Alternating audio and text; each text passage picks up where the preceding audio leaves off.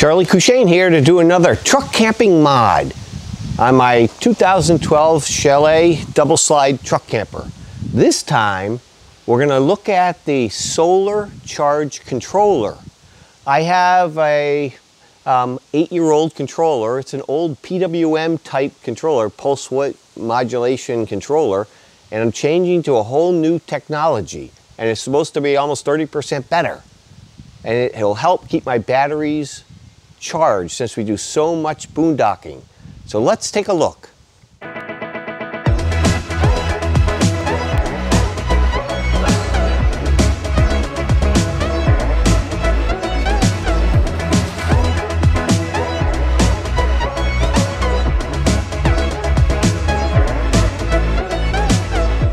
In my truck camper, the batteries are stored in this front compartment, which is really great because it keeps the weight forward and nice and low.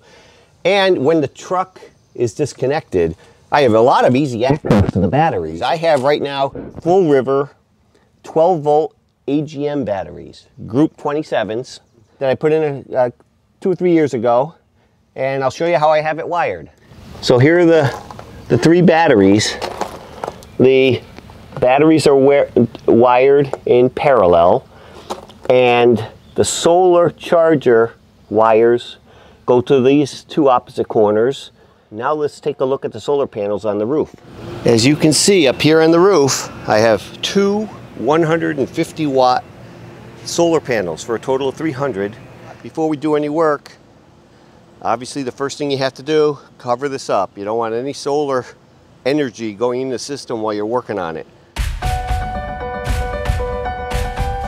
There we go. Those solar, that's doubled up tarp, so it's pretty well covered. What you need to do this project is at least these three things.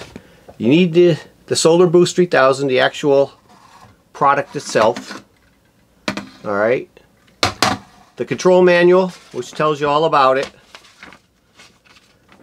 And this has the new 12 volt MPP solar charge controller. And this MPP is maximum power point tracking.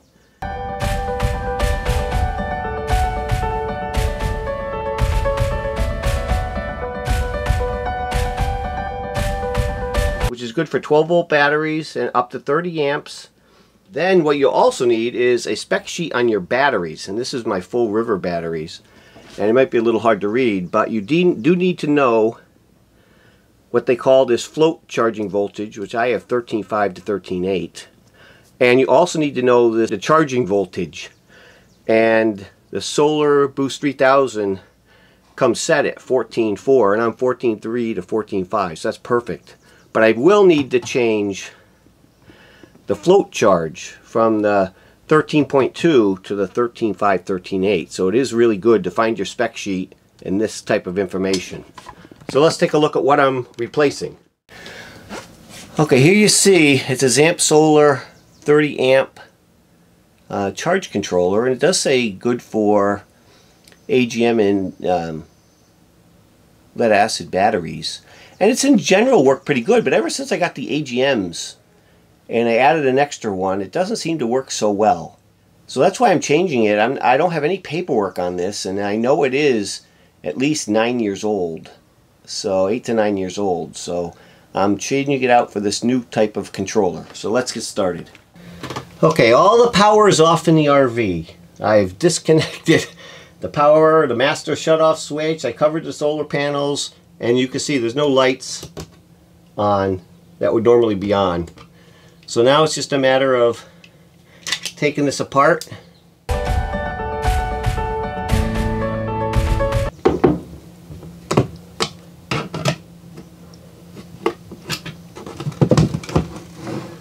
There you have it. And it tells you right there, those are the solar and those are the battery. That's tiny. That's tiny compared to this other one. I uh, I just hope that there's enough room in there. Now before I take these off, I think what I'll do, so I'm going to put some labels on here. So let me do that and then I'll get back to you. Okay, as you see, Battery plus, battery minus. Here's solar. Solar plus, solar minus.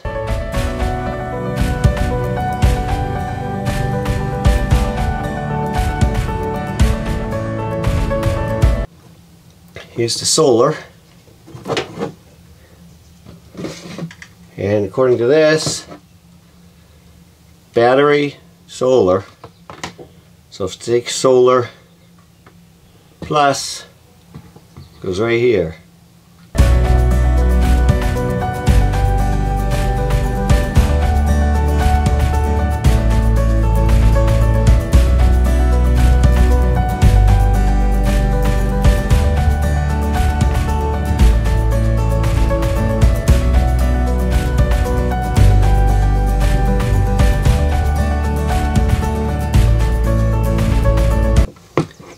Battery plus, battery minus, from the solar panel minus, and solar panel plus.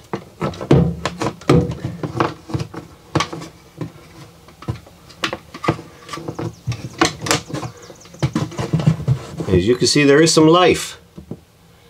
13.3 volts.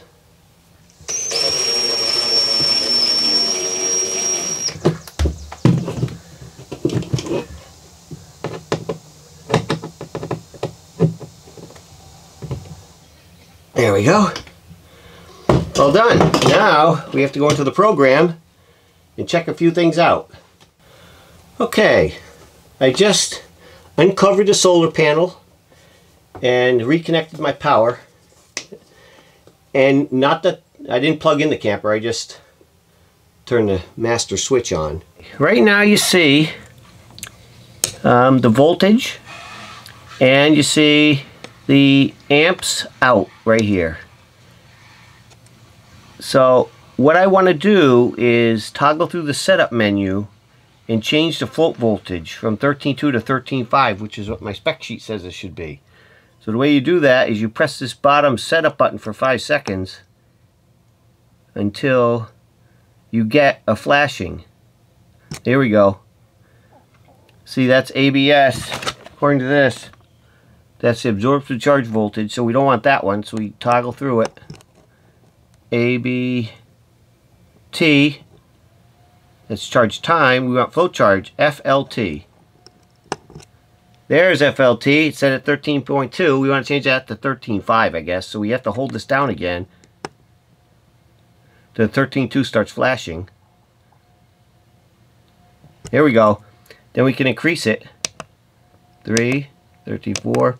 13.5. It says 13.5 to 13.8, so I think I'll, I'll leave it at 13.5. Then you have to hold again to lock it in.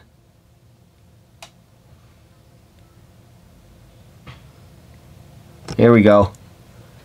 Now it's locked in at 13.5. Now it just should go back after a little while to this normal programming mode. There it goes. We're back to the normal programming. That's the voltage it's at and it's zero amps out. I, I really don't have anything on except for maybe some vampire power like this radio above. Um, so really 14.4 what it's supposed to be at and zero volts out because I have nothing on. Now if I turn the radio on classrooms outside, even in the battery starts dropping and you can see now I have some amperage out. We got really creative and reimagined what a hospital might look like. We can do this for schools. You know, they yeah, a little bit out from that radio. Center into a hospital. There, now let's go back to zero. Start dropping down to zero out. Perfect. Now this over here, you see multi-lights. You have the absorption, which is when it's really charging it. Oh, bulk is when it's the most charging. And that's when both lights are on. You see, I don't have both lights on. So right now it says absorption. It's just topping it off and then it goes to float where it just holds it there. So this will eventually go off and this one will just go on if I don't do anything else. Okay, toggling through the displays, that's that solid red light you see right here in the corner. That's the amperage out. And we have it set to be charging up to a 14.4 for the batteries, which is good. So now you can toggle this display. Next should be voltage. That's what the battery voltage is at. Next thing is amperage out. 0.1, next to nothing. Then it comes around, amps in, so I'm getting 0.2, 0.3. That's what my solar panels are putting in to the batteries. It, the sun's just rising, so that'll be going up as the sun comes up. Amp hours, 2. Auxiliary voltage, I don't have any auxiliary batteries hooked up, so that's always 0. And then it's off. So, as you can see, it's an absorption mode, but it's, I think, ready to go up to float mode. So I think we're all set. Project's all done, looks great. Only time will tell if it's better than my old one.